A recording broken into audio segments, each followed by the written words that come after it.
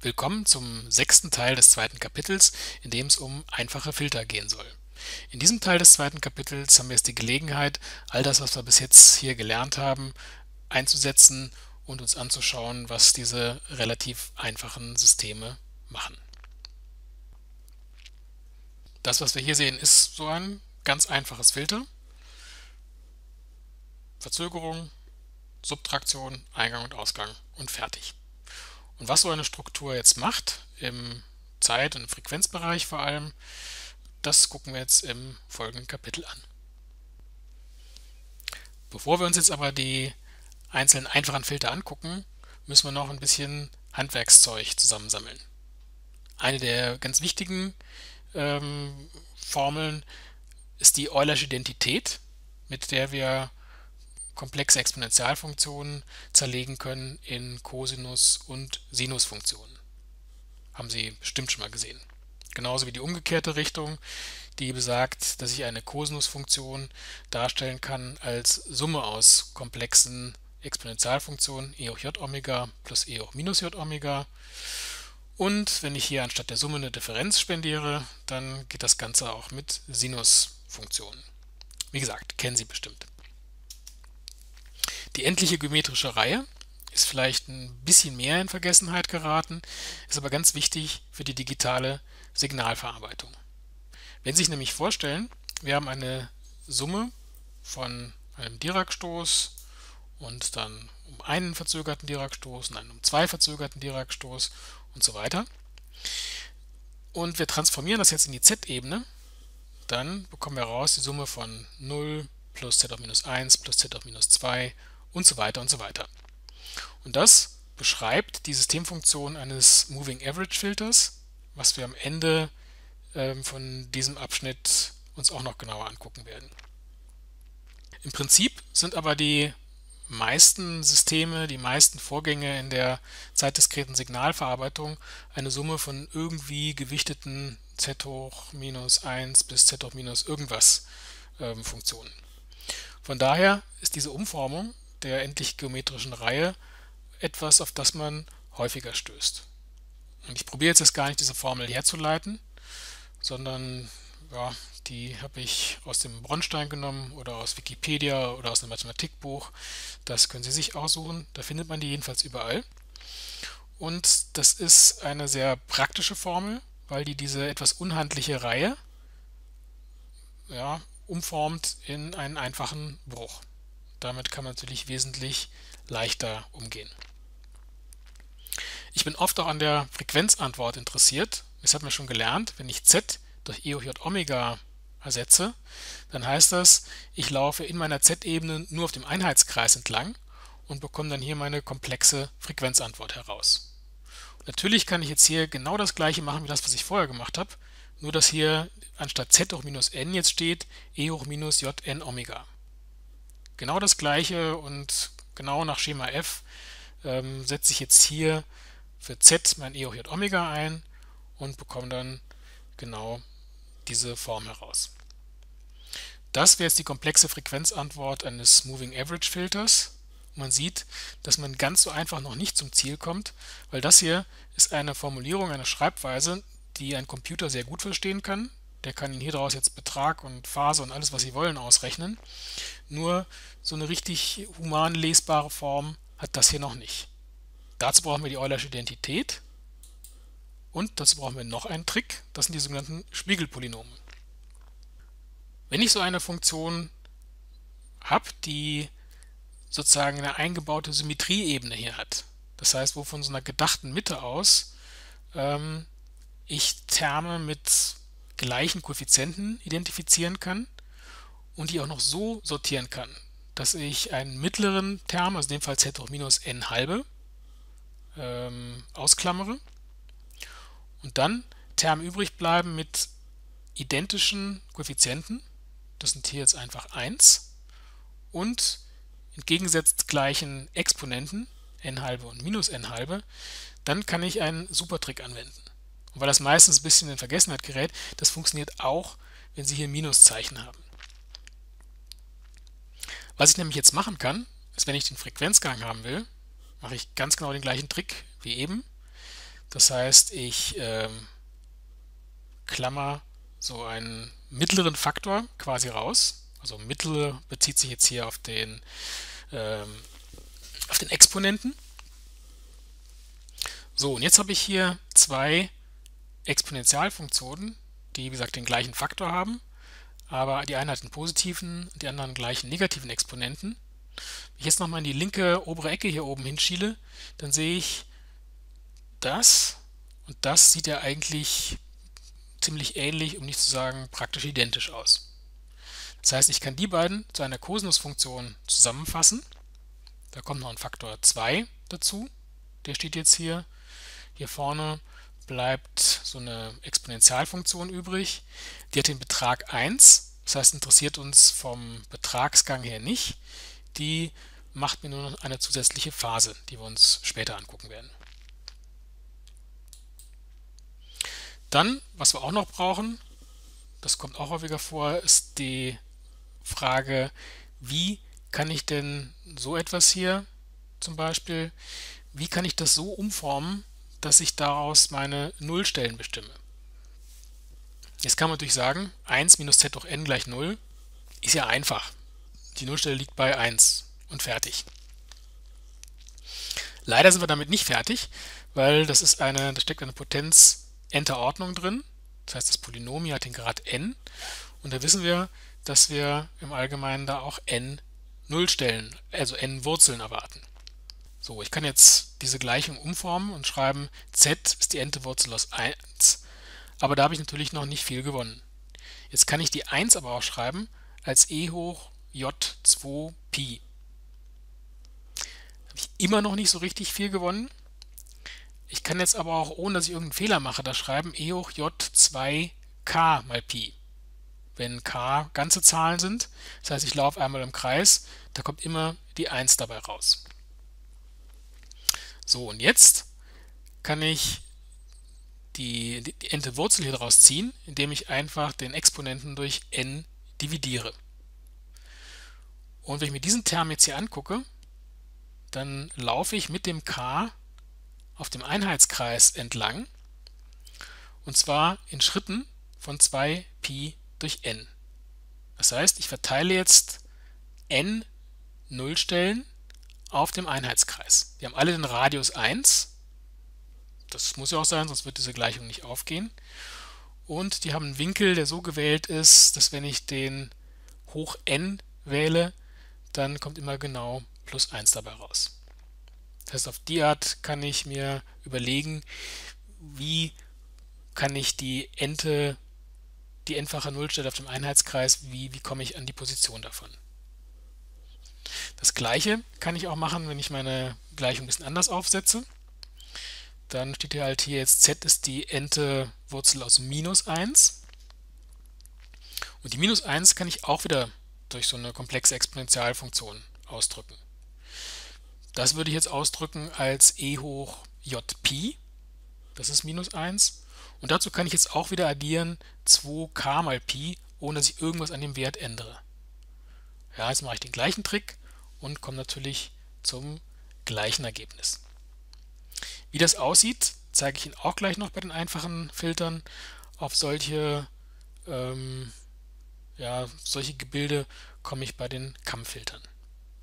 Bei beiden Varianten habe ich jedenfalls n Nullstellen auf dem Einheitskreis verteilt in gleichen Abständen und zwar mit 2pi durch n. Sieht so ein bisschen aus wie so eine Perlenkette. Jetzt kommen wir zum ersten richtigen einfachen Filter und zwar einem sogenannten Integrator oder Akkumulator.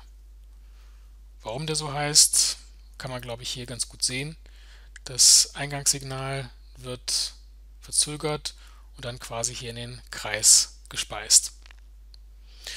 Wenn Sie aus diesem Signalflussgraphen die Übertragungsgleichung, die Systemfunktion bestimmen, machen Sie das mal, ist auch eine ganz gute Übung. Dann kommen Sie auf diese Form. Wenn Sie das Ganze mit z erweitern, dann kommen Sie auf diese Form. Soweit alles noch ganz einfach. Jetzt kommt die erste Frage dazu.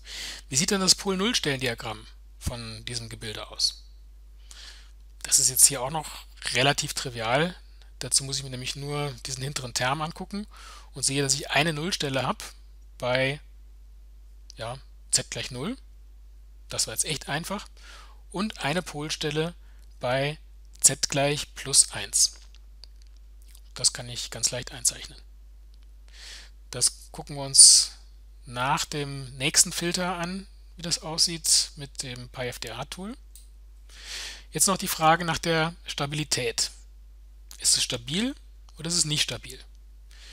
Die Nullstellen interessieren uns dafür nicht, sondern nur die Polstellen. Jetzt habe ich eine Polstelle bei z gleich plus 1. Das heißt, sie liegt genau auf dem Einheitskreis. Ja, da kann man jetzt sagen, das ist so bedingt stabil. Man kann sich leicht überlegen, wenn ich hier ein Gleichsignal anlege, dann wächst der Ausgang über alle Grenzen. Das heißt, richtig stabil ist der Integrator nicht, aber wenn man vorsichtig ist und Umständen ein bisschen gegenkoppelt, kann man den schon verwenden und der wird auch tatsächlich eingesetzt. Aber man muss immer im Hinterkopf behalten, ähm, der kann überlaufen und verträgt keine Gleichsignale am Eingang. Wenn ich hiervon jetzt den Frequenzgang oder den Phasengang wissen möchte, dann ersetze ich wieder z durch e hoch j Omega, wie ich das gemacht habe vorher. Mache jetzt hier unten wieder meinen Spiegelpolynom-Trick. Das heißt, ich gucke, wenn ich hier jetzt e hoch minus j Omega halbe ausklammere, dann bleibt hier e hoch plus j Omega halbe stehen. Hier minus e hoch minus j Omega halbe. Super, ich habe gewonnen. Gleiche Koeffizienten, plus 1, minus 1 und gleiche Exponenten, einmal plus und einmal negativ. So, diesen ganzen Teil hier kann ich jetzt ersetzen durch 2j mal Sinus Omega halbe. Und diesen Term kann ich natürlich auch in den Zähler schreiben, damit aus dem minus j Omega halbe plus j Omega halbe. Und solange ich jetzt nur ganz kleine Frequenzen mir angucke, dann kann ich Sinus Omega halbe ersetzen durch ungefähr Omega halbe mal 2, bleibt noch Omega übrig. Das J bleibt halt auch da stehen. Und dann habe ich einen Frequenzgang, so wie ich ihn jetzt auch erwarte, von einem zeitkontinuierlichen Integrator. Je näher ich an die halbe Abtastfrequenz rankomme, desto stärker weicht der Frequenzgang von diesem zeitdiskreten Integrator ab. Jetzt werfen wir mal einen Blick drauf, wie der Betragsgang davon aussieht. Man sieht bei f gleich 0 geht das ziemlich weit hoch. Und wenn ich jetzt rechnen möchte, denken Sie mal kurz drüber nach, wie könnte ich jetzt ausrechnen, wie mein Frequenzgang genau bei f gleich 0 ist. Es gibt eine komplizierte, eine einfache Lösung dazu. Vielleicht drücken Sie kurz die Pausentaste.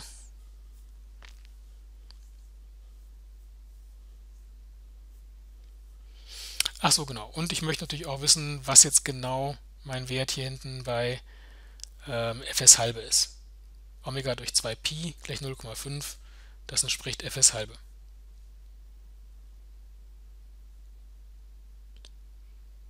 Gucken wir uns erst den komplizierten Weg an, der so kompliziert eigentlich hier auch nicht ist. Wenn ich nämlich Omega gleich 0 einsetze, dann steht hier oben im Zähler einfach 1. Im Zähler, äh, im Nenner Sinus von 0 ist auch immer noch 0. 2 mal 0 bleibt 0 und mal j bleibt auch 0. Das heißt, das hier geht gegen unendlich. Deshalb geht das hier auch so hoch. Jetzt hatte ich gesagt, es gibt noch einen einfacheren Weg, das zu rechnen. Naja, wenn Sie jetzt einen Einheitskreis vorstellen, da wo Omega gleich 0 ist, da ist auch z gleich 1. Das heißt, Sie brauchen nur einzusetzen, z gleich 1 ist 1. Hier unten z gleich 1, wird der Nenner 0 Gleiches Ergebnis wie eben gerade. Mache ich das jetzt mit f gleich fs halbe, dann kann ich hier natürlich auch wieder einsetzen. Ähm, bei f gleich fs halbe entspricht Omega gleich Pi und Sinus von Pi halbe, ja, das ist 1. Und was habe ich hier oben? e hoch j mal Pi halbe was haben wir da? Sagen Sie es mir.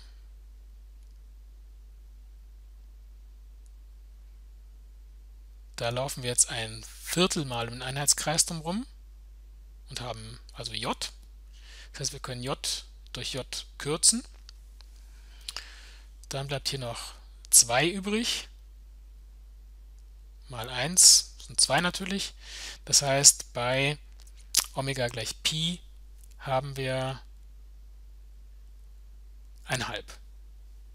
Und ein halb entspricht hier bei 20 log irgendwas minus 6 dB. Das heißt, das passt auch. Gucken wir mal, ob wir hier zum gleichen Ergebnis kommen. z gleich minus 1, auch hier gleich minus 1, minus 1 durch minus 2 sind plus 1,5, passt. Das heißt, wenn es eine Möglichkeit gibt, versuchen Sie immer ähm, die Eckwerte in die Systemfunktion direkt einzusetzen. Das klappt natürlich nur bei f gleich 0, bei f gleich fs halbe und vielleicht noch bei f gleich fs Viertel. Das entspricht auf dem Einheitskreis ähm, z gleich j. Aber da wird das Rechnen dann schon ein bisschen schwieriger. Da müssten Sie dann rechnen hier j dividiert durch j minus 1. Das ist schon eher ein bisschen hässlich. Um die Phase auszurechnen, starten wir bei Omega gleich 0, beziehungsweise so ein ganz kleines Stückchen dahinter. Sonst äh, kann man das Ganze hier nicht ausrechnen. wenn ich jetzt das j mal in den Zähler schreibe, also minus j, dann würde hier stehen minus j mal e hoch j Pi halbe. Und das ist was, was jetzt unsere Phase beeinflusst, weil der Betrag von j ist 1, der Betrag hiervon ist auch 1. Das heißt, das macht nur was mit unserer Phase. Und dieses minus j, das kann ich auch hier oben in den Exponenten schreiben. Und zwar entspricht minus j entspricht e hoch minus j Pi halbe. Das heißt, ich würde jetzt hier reinschreiben, e hoch j Omega halbe minus Pi halbe. So, und da sehe ich, dass bei Omega gleich 0 bleibt hier nur stehen e hoch minus j Pi halbe und das ist meine Phase, minus Pi halbe. Und da die Phase sich jetzt mit dem Omega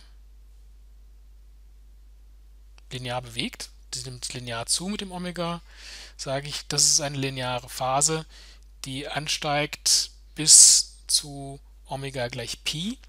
Dann steht hier nämlich j mal Pi halbe minus Pi halbe ist dann e hoch j 0. Das heißt, da habe ich die Phase 0.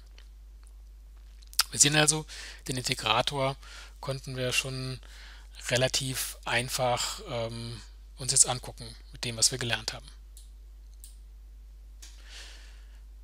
Differenzierer, das ist das Bild von ganz vom Anfang. Da sehen wir, gibt es keinen rekursiven Zweig. Das heißt, der Differenzierer ist einer der einfachsten transversalen Filter, die es so gibt. Die Systemfunktion davon haben wir leicht und schnell ausgerechnet. Das ist einfach 1, das geht direkt durch, minus einmal verzögert, 1 minus z auf minus 1. Auch hier wieder erstmal die Frage nach dem Pol-Null-Stellendiagramm. Ja, und um das zu bestimmen, ist es immer einfacher, erstmal die Systemfunktion in die Form mit positiven Exponenten zu bringen. Das heißt, ich multipliziere das Ganze mit z, und zwar Zähler und Nenner, auch wenn es Nenner hier jetzt noch gar nicht gibt. Ja, und dann, dann sehe ich, dass ich eine Nullstelle habe im Zähler, zwar bei z gleich 1 und eine Polstelle bei z gleich 0. So wie sich das gehört für ein nicht rekursives Filter, ist die Polstelle im Ursprung. Stabilität, klar, ist ein nicht rekursives System, das ist immer stabil. Und die einzige Polstelle, die wir haben, sitzt brav im Ursprung, ist also auf jeden Fall ein stabiles System. Jetzt möchte ich gerne wieder wissen, was ist der Betragsgang, Frequenzgang bei Omega gleich 0.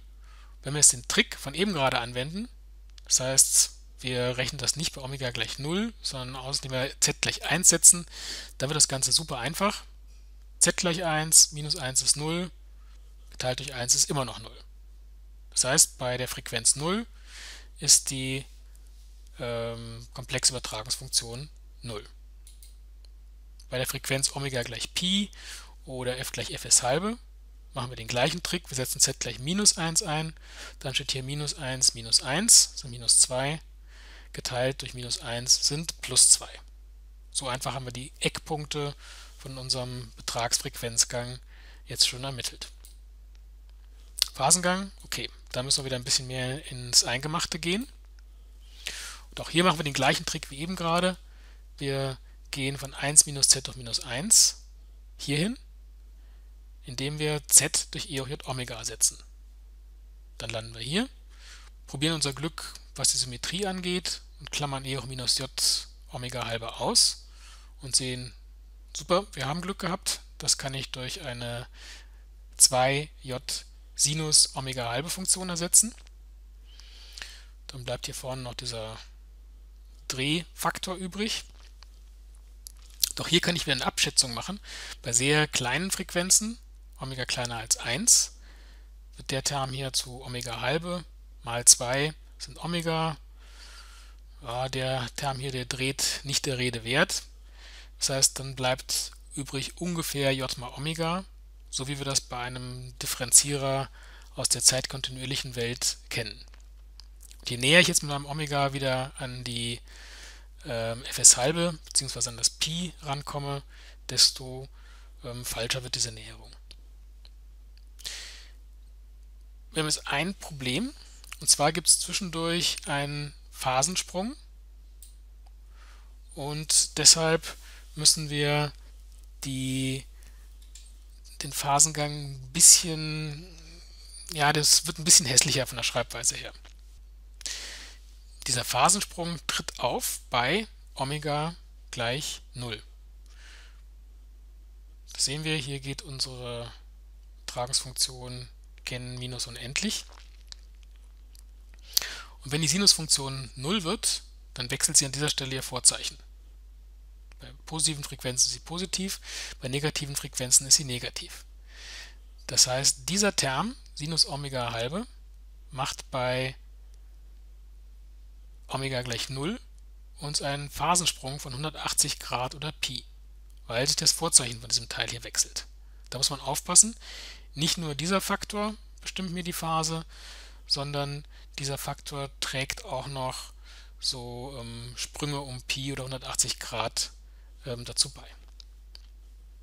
Damit sind wir am Ende von dem Teil zu den ganz einfachen Filtern angekommen. Als nächstes gucken wir uns dann die ziemlich einfachen Filter an. Bevor wir das machen, gibt es aber noch einen kurzen Durchlauf durch PyFDA, in dem ich Ihnen zeige, wie man den Differenzierer und den Integrierer aus diesem Abschnitt sich auch in diesem Filtertool angucken kann.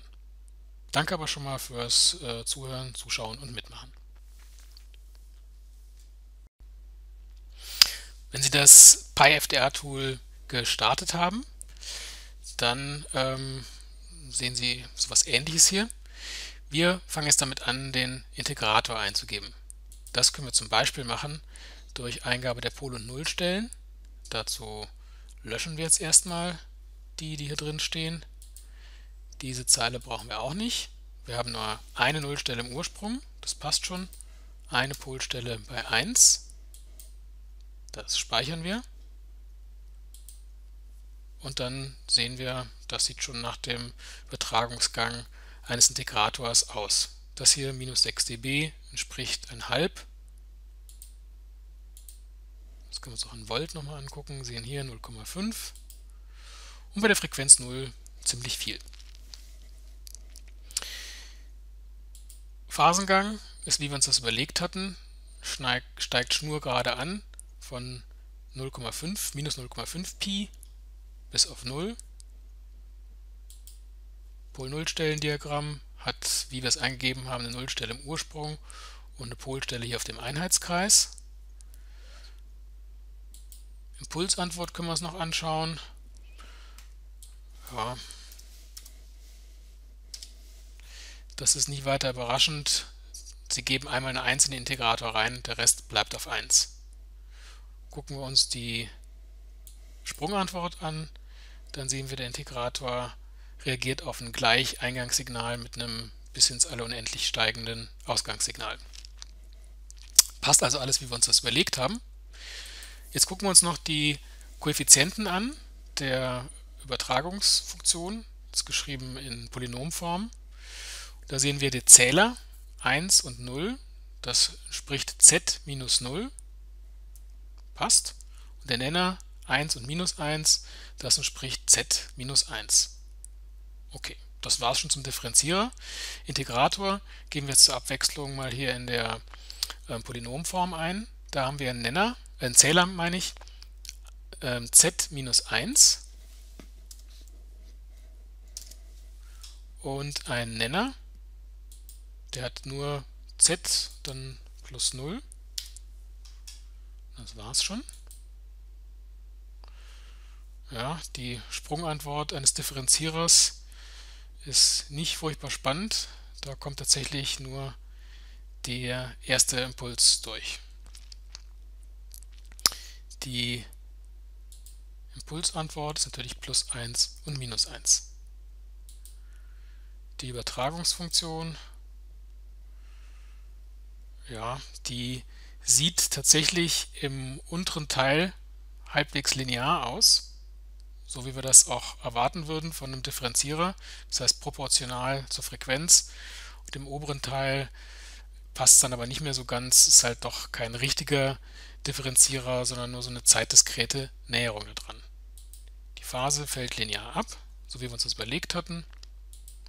Pole und Nullstellen sehen auch so aus, wie wir ja, das gewollt haben. Das heißt, wir haben eine Polstelle im Ursprung, damit das System kausal ist, und eine Nullstelle auf dem Einheitskreis. Ja, viel mehr kann man hierzu schon gar nicht sagen. Musik